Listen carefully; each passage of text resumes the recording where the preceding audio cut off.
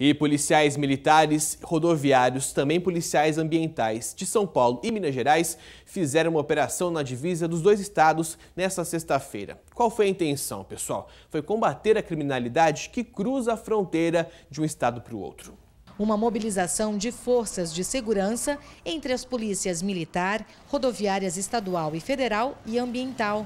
O objetivo da operação, que pela primeira vez é realizada em conjunto com as polícias próximo à fronteira, é a prevenção de vários delitos, como tráfico de drogas, contrabando e pessoas procuradas pela justiça.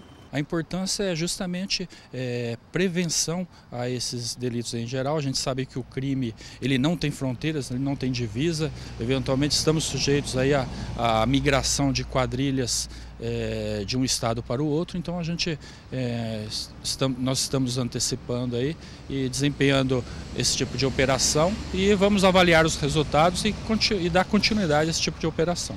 Uma força-tarefa que contou com a participação de mais de 50 policiais só aqui no estado de São Paulo. Mas esta operação acontece simultaneamente do outro lado da fronteira, em Minas Gerais. Nós trabalhamos do combate ao crime sempre é, ligados um no trabalho dos outros e, ao mesmo tempo, o resultado que é esse combate à criminalidade que nós faremos aqui durante todo o período da operação. Documentos dos motoristas são checados e os carros são vistoriados.